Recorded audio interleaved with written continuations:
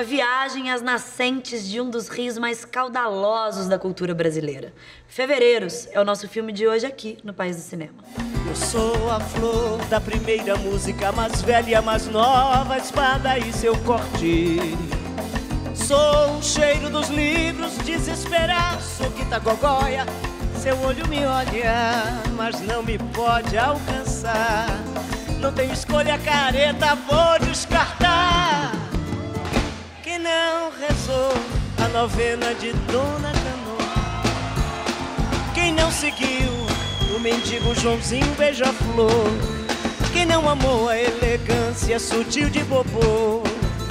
Quem não é recôncavo nem pode ser reconvexo? Uma artista que correu o mundo, mas que volta sempre às origens.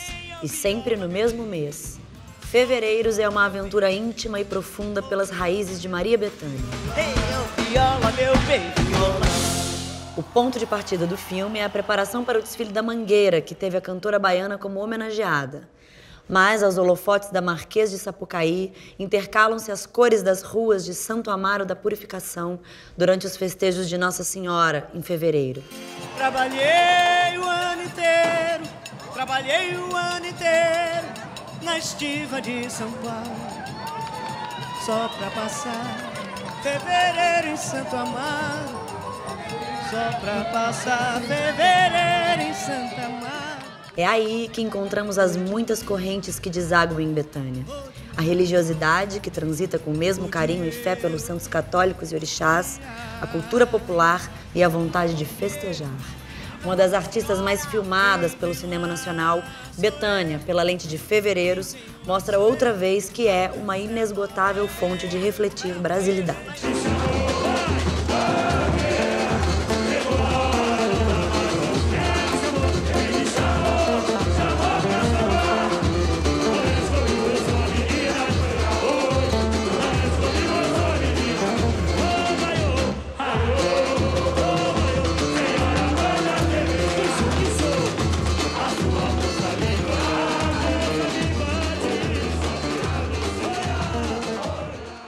Converso agora com Márcio Debelian, diretor de Fevereiros, e Diana Vasconcelos, que é a montadora do filme. Bem-vindos. Obrigado. Márcio, você já tinha filmado a Betânia em O Vento Lá Fora, em que ela lê poemas do Fernando Pessoa. Isso. Você acha que esse primeiro contato com ela ajudou a estabelecer uma relação de confiança entre diretor e personagem que a gente vê em Fevereiros? Acho que sim. A gente já tinha feito O Vento Lá Fora, eu tinha também feito Maria Bethânia Guerreira Guerrilha, que é um livro do Reinaldo Jardim, que ela é homenageada, foi lançado 15 dias antes do AI-5 e foi confiscado. Então, quando a gente relançou, ela, nem ela tinha cópia dela. Então, a gente já tinha essa relação de trabalho, mas eu acho que cada início de trabalho é, zera uhum. a situação. É, a Betânia estava comemorando 50 anos de carreira, quando eu, eu convidei, eu propus a gente fazer Fevereiros, que nem se chamava Fevereiros ainda, essa ideia de filmar a, a homenagem da Mangueira a ela. E ela estava ocupada com vários assuntos. Falou: olha, se você quiser vir acompanhando, pode vir, mas não conte comigo como uma personagem para o filme. Tanto que a entrevista dela é a última coisa que acontece no filme. Isso foi estratégico, né? Também, olha, deixar para o final. Eu, sinceramente, eu acho que no final foi. Eu acho que a Betânia tem muita sabedoria, uhum. como diz o Caetano, Maria Betânia e meu Nascimento, a gente obedece. Então, foi muito bom para o filme. Mas para minha ansiedade foi dificílimo, porque imagina você estar tá na área de edição trabalhando, a gente está dois, sei lá, um ano e pouco, e não tem a entrevista da personagem principal até o último dia. Então, uhum. nesse sentido segurar a ansiedade foi mais difícil, mas para o processo final, a gente ter tudo decupado e trabalhado, e a Betânia chegar a ser a última entrevista, foi muito rico. Uhum. Isso foi. Diana, quando você entra no filme para montar o filme? Quando você foi convidada? Ele acho que quando ele teve a ideia, ele já começou a conversar comigo ah, sobre o projeto. Mas eu entrei com ele na ilha depois de uma primeira leva de material que ele filmou, que foi é, a Escolha do Samba da Mangueira, foi a festa de Santo Amaro. Teve uma primeira leva de material, sem as entrevistas, uhum. que a gente já trabalhou em cima dele. Aí, depois disso, o filme deu uma parada, o Márcio tomou caminhos para acabar de compor o que uhum. a gente achou que faltava ali, né? No, no, projeto e filmou mais, voltou a Santa Amaro, fez entrevistas, é, conversou com as pessoas da Mangueira depois também, é, né? A gente tem uma dinâmica, é o terceiro filme que eu faço, o terceiro filme que eu, a gente trabalha junto. Então eu sou a gente, além de trabalhar junto bem, a gente é muito amigo. E eu adoro conversar com a Diana. Então, assim, quando vem uma ideia, uma coisa, eu falo, Diana, tô pensando nisso. Aí já, e ela adora, e ela fala, então me manda, o que, que você está lendo? Então, a nossa troca, antes, quando, e ela gosta, deixa eu chegar na ilha, você está muito avançado. É, porque Não ele, né, ele, ele, ele uhum. é muito rico de ideia e ele busca muito conteúdo, ele busca muito conteúdo, isso é espetacular. Eu aprendo um absurdo com ele também. Aí eu quero ler o que ele leu, quero ver os filmes que ele viu, para uhum. chegar junto, chegar né? Junto. Porque é senão... muito legal. A gente entrou na ilha a primeira vez, a Mangueira já tinha sido campeã. E isso para um filme, ah, a gente começou a filmar. altera o filme, né? A gente começou a fazer o... Nasceu um pouco é. também, né? A chama veio um pouco ali. É, da... quando a gente começou a fazer, foi setembro de 2015. Então, começamos a acompanhar o processo de criação do, do Carnaval em homenagem à Betânia. Fomos a Santo Amaro, mas a Mangueira, em, em 2015, tinha ficado entre as últimas, foi décimo lugar. Então você não tem como saber. Uhum. Claro, você tem um filme, A Mangueira é Campeão, o filme tem um final feliz, é, inevitável. É... Mas quando eu comecei a pensar o trabalho, eu falei, eu tenho que fazer um filme que não dependa da Mangueira ser campeão, ou, ou, que ele exista qualquer que seja o resultado desse carnaval. Uhum. Então, a nossa primeira entrada em Ilha é de, eu acho que é março, abril de 2016, que a Mangueira foi campeã, a gente já tira Santa Amaro, aí a gente faz a primeira decupada, né? Entendi. Sofre um pouquinho, né? Sofre, sofre. Porque a gente chega achando que ah, estamos arrasando, a Mangueira foi campeã, temos tudo. Na hora que você vai experimentar, e o rigor da Diana é maravilhoso, porque a Diana está toda hora te colocando na parede, que filme você está fazendo? Ainda bem. Mas isso aqui, como é que vai?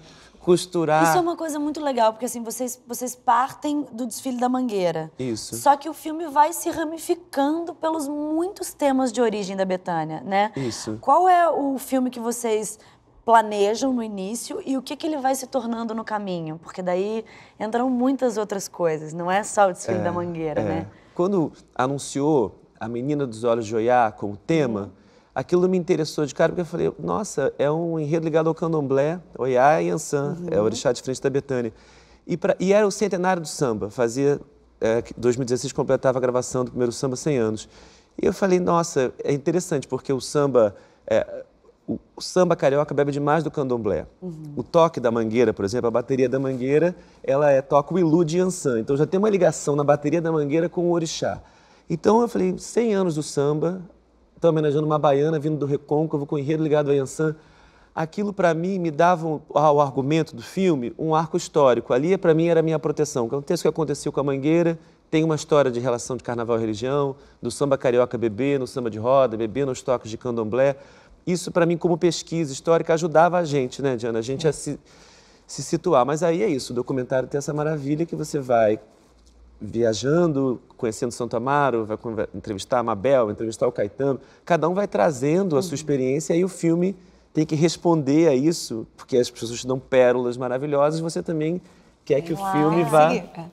O, Márcio tem essa coisa de ter uma estrutura, tem uma, um pensamento sólido, construído com o tema dele, mas uma liberdade para abrir para o que vier, que é impressionante. Tem uma fala do Caetano no filme que eu adoro, tem uma coisa meio baiana ali, que tem um pouco da, da história desse filme, que ele diz que esse carnaval, Betânia, isso é uma história que se escreve, que se conta. É um pouco isso, é uma história que Sim. se escreve, que se conta. Você não sabe qual é a história. Né? Uhum. O filme tem essa liberdade. Tem uma história, tem uma solidez ali, mas ao mesmo tempo tem uma liberdade que pode falar do bembé do mercado, que Sim. pode falar da abolição, que pode falar Jorge Amado, pode uhum. entrar no filme e falar e o assunto vira né, o, é, quem é ateu e viu milagres como eu. É, o filme tem uma apesar de ter uma solidez de ideia, de conceito, de pensamento, de visão, que eu uhum. acho que é uma coisa muito bacana que o Márcio tem, que é uma visão dessa história. Ele abre muito, ele uhum. permite que às vezes até dependendo de quem está assistindo pode até se perder um pouco não, no, não no, no, caminho que o filme tem, porque ele vai abraçando o que vai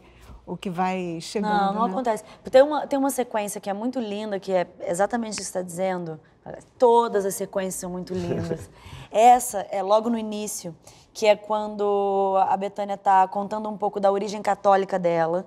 E, ai, aliás, tem aquela passagem lindíssima que ela ela está contando das primeiras relações que ela tinha com a ideia de Deus. E ela está com medo de ir à missa porque ela está com medo desse Deus, Deus. E Caetano resolve, ele Deus diz. sou eu. Deus sou eu, eu invento tudo. É. Ah, por favor. Libertação, que né? maravilha. É, aí logo depois a gente tem ela falando também da origem africana, o candomblé, o 13 de maio em Santo Amaro, numa mesma sequência, que é uma sequência super musical. Como é que foi construir isso também? Porque são vários temas É. numa mesma sequência. Maravilhoso. É, o, o documentário tem um desafio muito grande, né? Porque você lida com o que você tem, né? Você não planejou aquilo. Você recebeu, você ganhou aquele material. Então, é, a, a construção daquilo é com muito erro, com muita dificuldade. Você pega um caminho, dá com a cara na parede, daqui não saiu nada, mas tem uma sementinha aqui, que se eu torcer para cá, atrás aquele, escorrega dois, puxa três, você vai, você vai experimentando, é experimentando. E muita conversa. Teve isso de montar, essa Muito. sequência, por exemplo, juntar o catolicismo com o candomblé numa mesma sequência, mais o 13 de maio e É, o depois 13 de mudar tudo. maio, ele já vem um pouquinho, é, ele chega junto, mas o catolicismo e o candomblé é- já é muito uma questão central, né? Uhum. Tanto no Carnaval da Mangueira, quanto na, na, na história da Betânia, na religiosidade dela, a vida dela tem, tem as- os dois lados, Uhum. né? Então isso já era meio inerente mesmo, tanto no Carnaval quanto na Mangueira e em Santa Amaro, que você vê a mistura ali muito né, vibrante das duas religiões. O 13 de maio é inevitável também, porque como não abrir né, para a cultura negra, para os africanos? Né? Como isso, como isso vai samba, chegar, né? é, como o samba, como, como a Bahia. Né? Sim. Isso é parte. Né? Você não falar quase que é, é você negar, é você virar, vou tirar isso. Não tem como falar de Não samba, tem né? como não falar. E essa coisa, a questão do catolicismo também, eu lembro da gente na Ilha de Edição muito preocupado, será que esse filme está muito católico? Da gente tentar, Muito. tanto que tem a procissão no final, a procissão, como isso, a gente passar por essas manifestações religiosas sem tomar, então é um filme muito católico, é um filme muito do candomblé. Tinha uma preocupação da gente e também da questão assim, ah, eu sou de terreiro, então, eu me considero macumbeiro e gosto dessa palavra, acho essa palavra com um contexto pejorativo, acho ela linda, então eu me afirmo. Depois que o Simas me explicou, então, o que, que é o- o- a etimologia da palavra, cumba é feitiço, ma é o sufixo plural, então seriam os feiticeiros, os poetas do feitiço. E, e macumba também era um instrumento, uma espécie de reco-reco. Por exemplo, essas questões do Caetano, medo do, do, do candomblé de caboclo, é, isso eram, tudo, eram curiosidades minhas, por ser de terreiro também, como isso funcionava ali para eles. E para a Diana já era um universo que ela não, não transita. E era maravilhoso. Ela- Ela falou, mas você, eu não, esse assunto não entendo, não domino. Foi justamente por isso a gente tem que fazer junto, porque é um filme para ser para todos. Então, toda vez que eu vinha mais com esse lado, também tinha um- uma percepção se ela estava entrando ou se estava falando muito de macumbeiro para macumbeiro. Ou- E ela, então foi boa essa troca da É. gente do desejo sempre de estar conversando com todo mundo, né? Uhum. Porque eu acho que até a ideia de, de você abrir a tolerância, você não é para falar para grupo. Claro. Eu quero atingir com um assunto que Pra não te conversa, pertence, né? né? Eu quero falar com você, que você é ou não é do assunto. O assunto é seu ou não é seu, mas assim eu acho que a gente vai abrindo a cabeça. Como eu abri muito a minha, né? Hum. Transitando dentro de um material que eu não conhecia, um, um universo que eu não, não tinha proximidade. E isso é tão bom, é tão rico, é tão gostoso. que eu falei, eu quero falar com todo mundo, a senão cabeça! fica óbvio, senão eu vou a ficar conversando só com quem é do samba, só com quem é do candomblé. Não, essa história é boa para todo mundo, É né? Ela é claro. bom para chegar para todo mundo. É É, uma claro. Uhum. forma da gente conhecer a gente, né? Que é fundamental. Que é um dos grandes valores que eu vejo no filme do Márcio. É, é, é joga o Brasil para o brasileiro ver. Né? Vamos, não é o meu mundo pequeno. A gente precisa abrir a cabeça. O país é grande demais. Uhum. Ele tem, a gente tem que contemplar é, né, o conhecimento de tudo.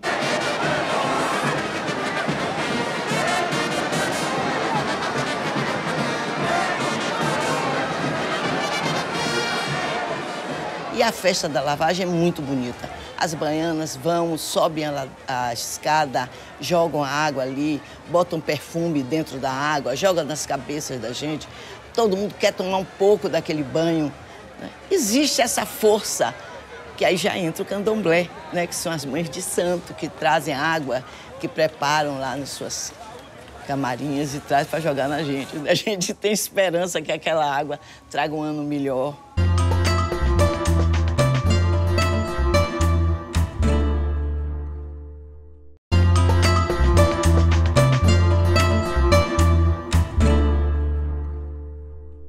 Eu queria abrir essa pergunta com uma frase do Leandro Vieira no documentário, que ele diz assim: que a religiosidade brasileira é uma das mais belas páginas da cultura brasileira. O seu filme estreou em fevereiro de 2019 e muita gente achou oportuno o tempo entre filmagem e lançamento, porque o tema da religiosidade está mais do que em pauta agora no Brasil, né? E eu queria saber como é que vocês veem a importância de fevereiros nesse debate. A, a sensação que eu fico é assim, a gente tinha algumas conquistas que a gente achava que o Brasil estava navegando, tendo avançado um certo caminho. É, de convivência religiosa, de tolerância. O próprio samba. Você não ia imaginar que samba pudesse ser que Daniela e Caetano Veloso teriam que cantar Está Proibido o Carnaval, isso ser uma, uma, polêmica, ou que a Prefeitura do Rio de Janeiro fosse cogitar minguar cada vez mais o apoio ao Carnaval no Rio. Então, pareciam conquistas nossas, Sim. adquiridas com o tempo. Como isso voltou à tona, a gente vê casos de intolerância crescendo, a gente vê o contexto de apoio ao Carnaval e aos blocos de rua, tudo isso sendo meio cerceado de uma maneira que eu acho que ainda vai piorar, eu acho que isso é só um prenúncio. Eu acho que quando as pessoas viram o filme, elas se reconheceram ali. Falaram, não, mas esse é o país que eu me reconheço. A gente convive bem, a gente é mais forte quando convive bem. O samba passou por uma lei da vadiagem, ele, está, ele superou tudo isso. Agora, tem também uma coisa no filme assim que eu acho que uh, essas lutas não são novas, elas estão reaparecendo com uma outra cara. Quando a gente coloca ali a idade de todo mundo que já. É, o ano que nasceu, o ano que morreu, em quem entra em arquivo, eu quis marcar isso para dizer que essas lutas já foram lutadas uhum. e essas pessoas entregaram o bastão para nós. Uhum. Então, a nossa geração, quem está aqui agora, a gente não pode. Essa luta é nossa. A gente tem que agora saber superar, resistir e entregar esse bastão uhum. para as outras gerações que virão. E assim, a religiosidade brasileira é maravilhosa. Tivemos a influência do catolicismo português, recebemos a tradição e a sabedoria dos negros que vieram da África, uhum. temos a mitologia dos índios, os saberes dos índios. Sim. Tudo isso se misturou e isso é a nossa riqueza. A originalidade do Brasil, qualquer contribuição que a gente possa vir a dar para o mundo de originalidade vem dessa mistura. A gente tem que reafirmar a nossa mestiçagem, a nossa convivência, porque o que está acontecendo aí é, de novo, política de branqueamento, uhum. é, é, querer limitar o nosso pensamento. E a gente não vai aceitar, não será assim, aguardem. Tenho dito. Como vocês sentiram a recepção do filme? A coisa mais legal de feedback que a gente recebe é quando pega pela emoção. E, e as coisas que eu ouvi foi nesse sentido, eu acho muito bom. Porque eu acho que o cinema é muito bom para chegar nas pessoas. Sim pela emoção, né? Porque você recebe um monte de conhecimento, fica sabendo de um monte de coisa, mas tocado. Perfeito. E não só no conteúdo. Perfeito. E vocês exibiram o filme em Santo Amaro? Sim. Como foi? Foi maravilhoso, porque eu, ach, eu senti a necessidade de ter que entregar. Essa cidade, a gente ficou filmando, incomoda as pessoas estão em procissão, então... E eu queria que eles vissem, e fosse no mesmo dia que estreou no Brasil todo. Então, 31 hum. de janeiro, abria para o Brasil e fizemos na praça. Legal. E foi maravilhoso, porque eles, eles se viam, riam, falavam, ah, fulano, que as pessoas se conheciam. Aí vinham coisas engraçadas, diziam, olha, eu queria ter dado pausa naquela hora da Santa, que eu tenho certeza que eu estava ali, mas eu não me vi. Ah. E tem o Santo Amarense é muito bem humorado, é muito engraçado. Tem também, você aceita crítica? Eu falei, claro que aceito. Essa pergunta é maravilhosa. De 0 a 10, eu vou lhe dar é 8. Aí é maravilhoso. Mas, pô, não falou da lambretinha de Santa Mara. Aí você falou, tá, desculpe. Não tinha, tem humor. E, e era muito bonito ver as pessoas que estavam trabalhando na praça, vendendo coisas, todas paradas, vendo. E foi muito emocionante. Assim, que lindo. Fiquei apaixonado por Santa Mara. Santa Mara tem essa magia. É, é um lugar de magia mesmo. Você vai uma vez, você. Daqui a pouco, tô, todo ano estou em Santa Mara. Desde, já tá fevereiros é, da minha todo vida. Todo ano né? eu tô. E como a Betânia recebeu o filme? Ela ficou feliz, ela gostou. Antes de estrear no Festival do Rio, eu queria, eu tinha combinado com ela que ela assistiria antes do, de, de, apresentar um corte. E aí ela não, não conseguia, aí um dia a gente marcou, foi ao cinema e ela falou, não, não chame ninguém, não vou chamar ninguém, vamos só nós. E ela viu o filme, conversava com o filme, comentava as coisas. E no final adorou e ficou feliz. E até hoje ela é muito. Eu fui na, no show de lançamento, no show de verão da Mangueira esse ano, Aham. e no camarim ela falou: todo mundo me liga, fala Ah, fevereiro, as pessoas me. Então ela tá, foi bacana. Ah, que maravilha. E era. Não podia, não, assim, a maior vitória, que são muitas vitórias, mas ela gostar e ficar feliz, né? A Claro. gente, é bom demais, Com né? certeza. O filme é sobre a Betânia, né? Mas é também sobre o Brasil. Sobre esses muitos Brasis que nós somos, né? Com tudo isso que nós estamos passando, vocês acham que o nosso cinema vai dar conta de continuar mostrando esse país tão grande? Ah, vai. Vai. Apesar da perplexidade que a gente está vivendo no momento, eu acho que não, não tem como, não. Eu acho que tem uma coisa muito vibrante que tem em quem faz cinema, tem no povo brasileiro. Não tem como, não. Eu acho que sim. Pode machucar aqui ou ali, mas essa história não, não para fácil, Assim não. seja. é. Isso aí. Bom, para encerrar, eu queria que vocês me dissessem qual é a cena preferida de vocês em Fevereiros. Você já sabe a sua. É, eu sei. A cena que tem lá o- no carnaval, a Betânia lendo o texto do Miyakoto sobre os tambores e, a- e os deuses, né? E com, com as cenas da, do carnaval. Aquela cena eu acho linda, acho emocionante e vê-la surgir foi, foi muito bacana de fazer aquilo. A música é a língua materna de Deus. Foi isso que nem católicos nem protestantes entenderam. Que em África os deuses dançam. E todos cometeram o mesmo erro. Proibiram os tambores. Na verdade, se não nos deixassem tocar os batuques, nós, os pretos, faríamos do corpo um tambor.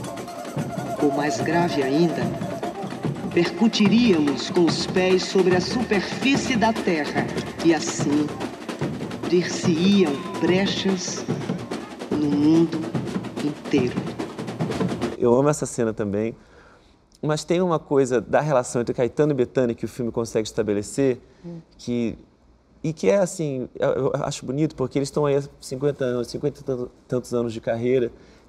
Filme trazer coisas que não foram ditas antes. São muitas entrevistas. Sim, sim. E essa relação deles com o candomblé, dos dois terem sido iniciados juntos no candomblé, de uma é menininha ter sido dito que eles são a mesma pessoa. E o Caetano ser ateu. E ser, e ser feito no candomblé por amor por- com a irmã e essa relação que eles têm. Eu acho isso muito bonito no filme, como aquilo entra ali no filme. É um momento que eu, que eu gosto de. Quando. eh, Festival, coisa. Eu volto para reassistir. Quando volto dali, eu acho. Aquilo eu gosto muito de ver. Água dourada, lagoa serena. Oxum. Uma menininha, acho que ela entendia que quanto mais desce, mais a nascente dela brotava. Ao contrário do que se pensa hoje na maioria dos, dos casos, dos acontecimentos e lugares, né? Não dou para não perder. Tem que guardar para não ter mais. Ela era o contrário. Era na sensação que eu tenho, aquela Oxum deslumbrante, aquela doçura toda e muita firmeza muita sabedoria, muita compreensão, muita doçura, tudo aquilo ali fosse uma nascente, assim, a caneca de água. Quanto mais ela desce, mais aflorava a água. Isso que era lindo.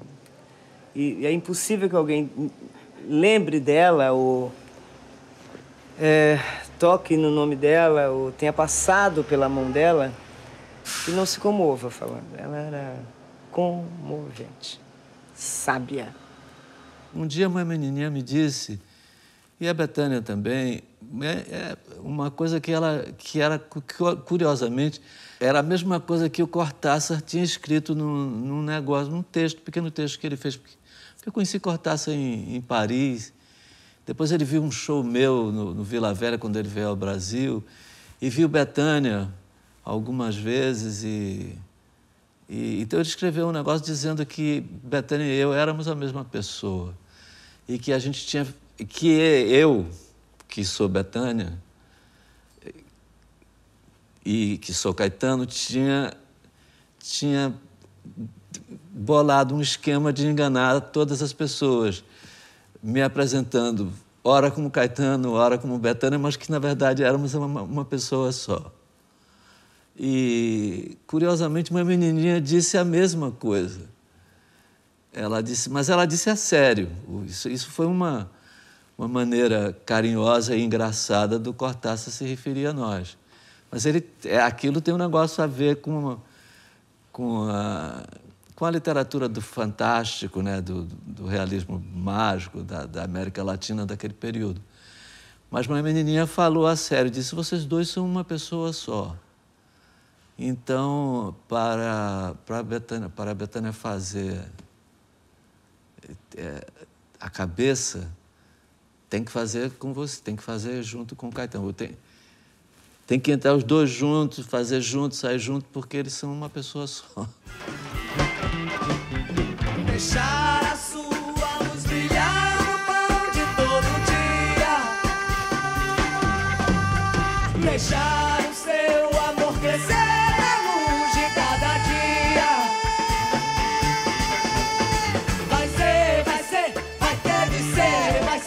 muito tranquilo.